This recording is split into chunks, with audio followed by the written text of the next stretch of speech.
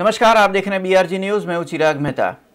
सूरत से 150 किलोमीटर का फासला तय करके 12 साइकिल सवार स्टैच्यू ऑफ़ यूनिटी पहुँचे थे।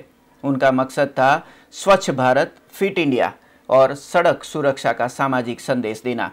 150 किलोमीटर के फासले में आते गाँव और कस्बों में उन्होंने स्वच्छ भारत का संदेश दिया था।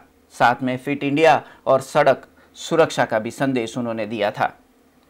इन सभी साइकिल सवारों का स्टैच्यू ऑफ़ यूनिटी आने का मकसद यही था कि स्टैच्यू ऑफ़ यूनिटी पे आते लाखों पर्यटकों को इन तीनों सामाजिक संदेश से उन्हें जागरूक कर पाएँ।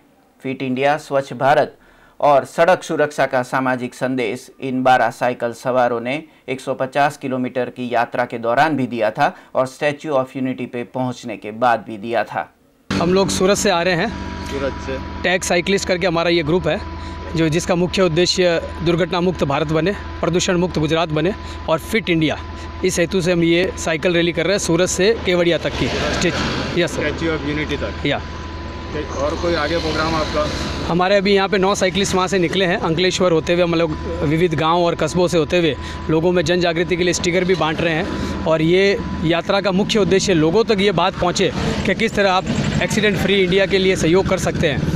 और ये यात्रा आगे देश भर में हम जारी रखेंगे।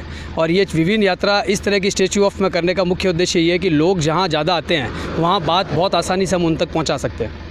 ऐसी ही ताज़ा तरीन खबरों से अपडेट रहने आप हमें यूट्यूब फेसबुक इंस्टाग्राम और ट्विटर पे सब्सक्राइब लाइक और फॉलो करना ना भूलें।